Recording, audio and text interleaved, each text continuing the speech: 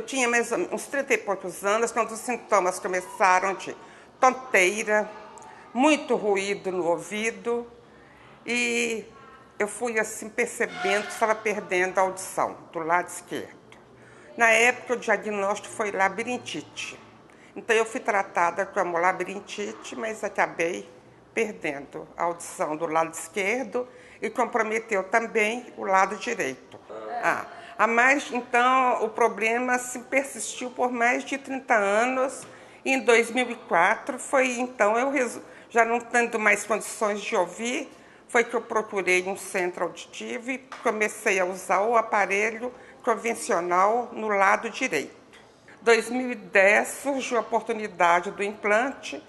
Eu comecei então a batalhar. Em 2011 passei pela cirurgia, em março de 2011. Minha vida mudou, eu não vou falar 100%, mas em 90%. Minha vida mudou da água para o vinho.